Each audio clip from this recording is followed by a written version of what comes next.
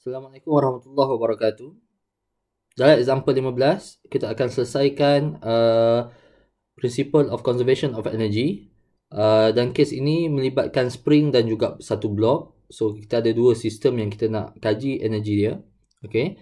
So soalan dia berbunyi uh, figure shows a 35 kg block. Okay, so the mass of the block is 35 kg connected to a spring to a smooth pulley. The spring constant K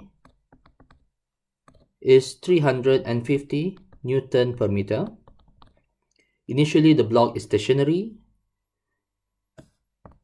That's important keyword. And the spring is unstretched. If the block, so yang warna kuning ini adalah initial condition dia lah. Okay.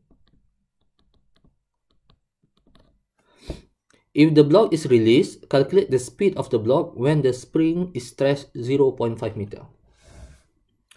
So, sistem kita adalah block dan spring. Dan yang kedua, part yang paling penting, let's define mana kawasan yang kita nak jadikan height zero. Saya rasa di sini ada dua tempat. Yang pertama sekali tempat yang ini yang mana blok itu ada pada posisi asal ataupun bahagian bawah sekali. Okey. So kalau kita pilih bawah sebagai height zero maka initial ada height final juga ada final juga ada height. Kita tahu bahawa dia kata when the block when the spring is stretched 0.5 meter 0.5 meter kita tak tahu berapa tinggi blok ini daripada ground. Okay, so there is no way kita tahu sama ada blok itu sentuh tanah ataupun tidak pada 0.5 meter. Yang dia bagi tahu the spring the spring is stretched 0.5 meter. Itu saja yang dia bagi tahu. So kalau kita pilih ground sebagai zero, maka kita akan ada dua unknown. High initial dan juga high final. However, kalau saya saya nak memudahkan uh, calculation. Saya tak nak pilih ground sebagai zero. Sebaliknya, saya nak pilih position ini, initial position ini sebagai zero. Let's draw a green line at that point. Okay. So, kalau saya pilih garisan hijau ini sebagai height zero, therefore, gravitational potential energy juga sama dengan kosong pada garisan hijau ini. So maksudnya tak ada height dalam gambar yang pertama. Dalam initial figure, there is no height. Tapi pada second figure, ada height. Iaitu, ini height kita. Okay. So ada height block H.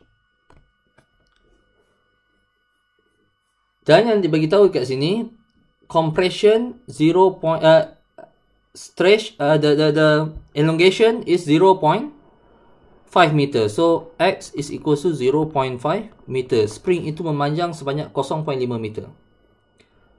Kedudukan asal unstretched spring is x is equal to 0. So ini adalah part asal. Uh, kita gunakan warna biru. Dan dia memanjang sebanyak okey. Yang biru ini adalah elongation x.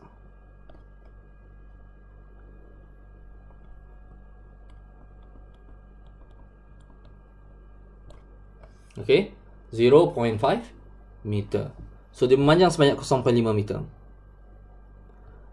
So mari kita identify apa energi yang ada pada setiap point ataupun initial and final point. So initially the block is stationary, the string the the spring is unstretched. So kinetic energy of the block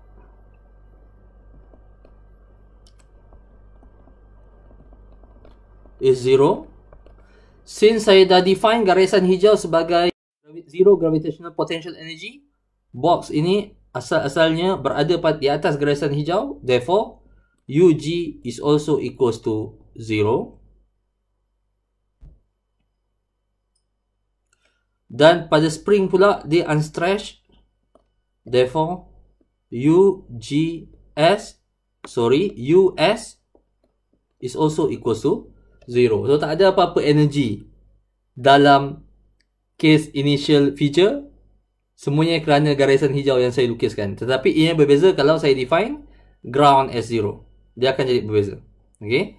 So uh, at final point, final diagram kita nampak spring ada elongation therefore ada US block pula sudah ada height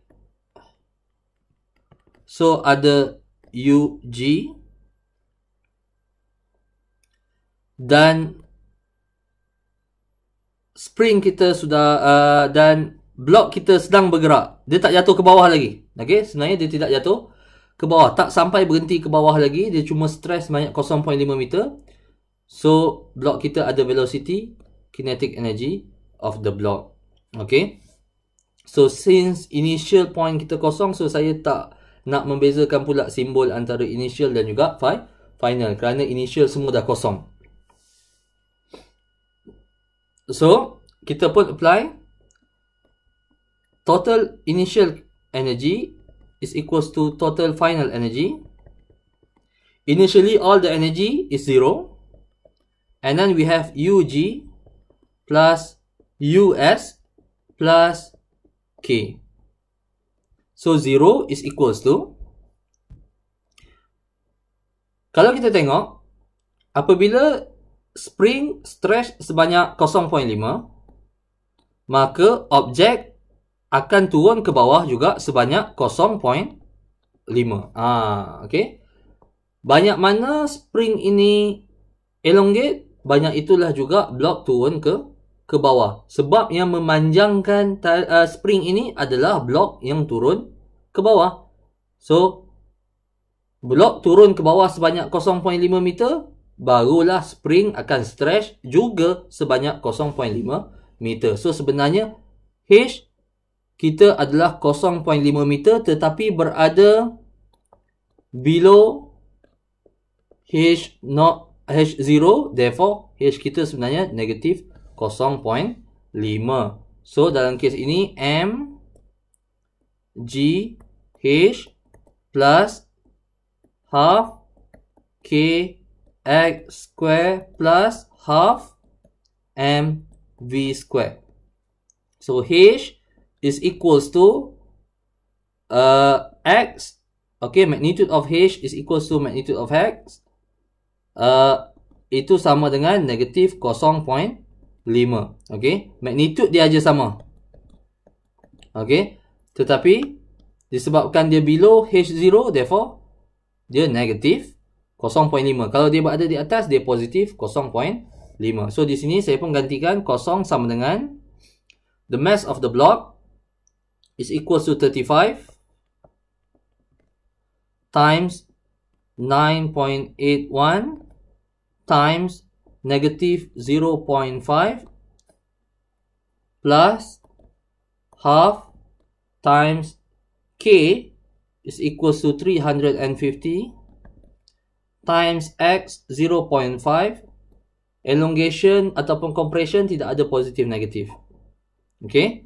Yang ada positif negatif adalah h. Kalau h berada di bawah dia negatif. H berada atas dia po positif. So x tidak ada positif negatif. Semuanya positif okay? Plus half times m 35 times v square. Dan kita pun rearrange equation ini untuk cari value v. Kiraan saya mendapati value v is equal to 2.7 meter per second. Okay? So ini adalah kaedah calculation saya yang mana saya define the green line as zero gravitational potential eh, energy. Alternatively, alternatively, you can solve this problem but you define ground as zero gravitational potential energy. Ini pun boleh. Boleh juga alternative UG is equal to 0. However, nanti kita akan ada height 1 dan di sini kita akan ada height height 2. Okay. So, kalau you nak cuba alternative method, boleh cuba. Boleh tanya saya. Jumpa saya. Saya pun sebenarnya ada solution uh, yang gunakan alternative method yang kita define ground as 0. Okay. Tapi untuk bincangkan dalam video ni, tiba-tiba saya nak decide untuk uh, uh, height yang berbeza. Tempat yang lain. Uh, jadi tak apalah.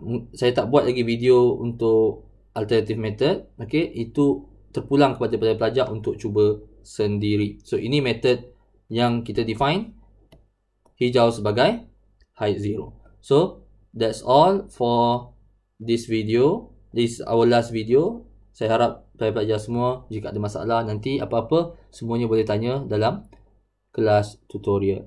Terima kasih tanya kerana telah belajar topik ini dengan baik.